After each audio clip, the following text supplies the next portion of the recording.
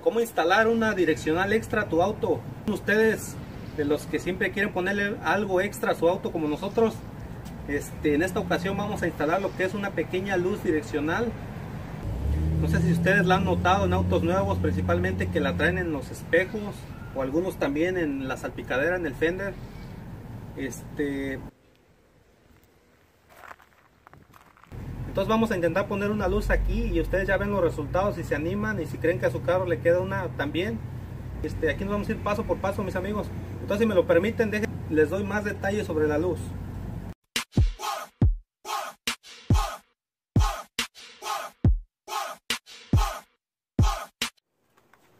Ok mis compas, miren en este caso esta es la luz que tenemos que viene siendo de la marca Blazer, la conseguí en la tienda esta famosa de Auroson y este aquí nos dice más o menos de que esta no es necesario cambiar focos nunca ya que tiene 100.000 horas de luz intensa concentrada y que es resistente a vibraciones entonces esto no se va a fundir ni nada. Y son dos cables muy sencillos que vienen siendo corriente y, y lo que es tierra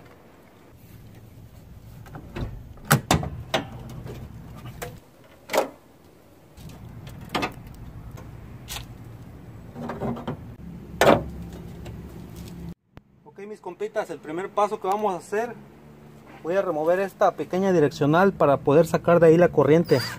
Bueno, en este caso es un tornillo muy fácil ahí. Ahí está. Buscamos la tierra ahí.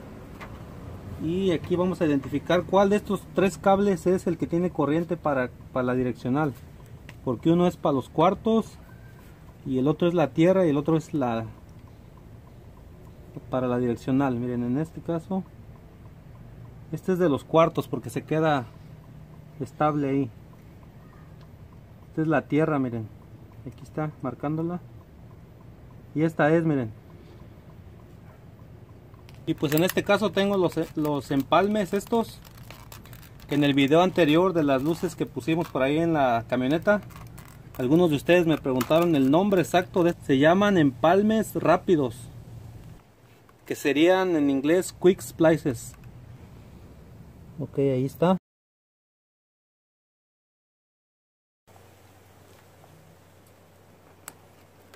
Ok ahí quedó miren.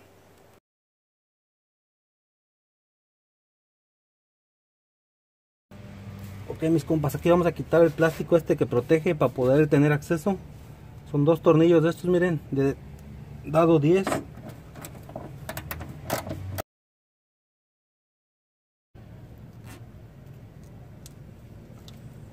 y le metemos aquí presión. Ok aquí ya está nuestra tierra bien conectada bien maciza. Ya tenemos aquí los dos cables miren. Positivo y negativo. Entonces ahorita vamos a seguir con lo que viene siendo este, hacer los agujeros para poderla instalar. La marcamos exactamente donde vaya a quedar bien derechita. Ok yo creo que ahí queda bien miren ahí está. Entonces ahí marcamos miren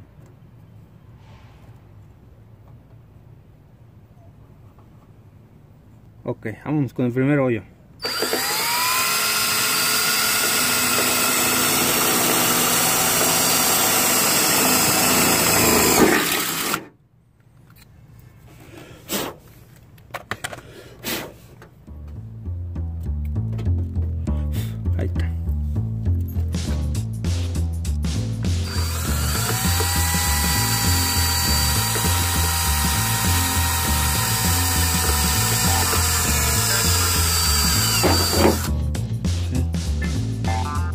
otro.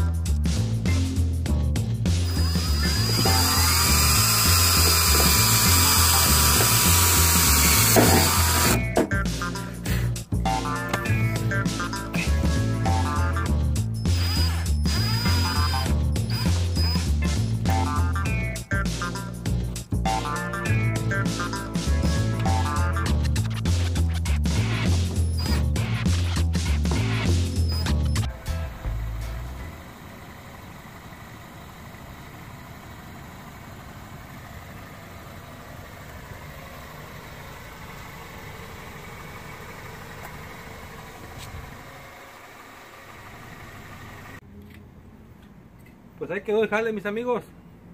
Esperando les haya gustado y se animen a hacerlo también en sus autos, por ahí una idea más. Y este, pues dejen, recogemos todo este tiradero. Nos vemos hasta el próximo video. Saludos.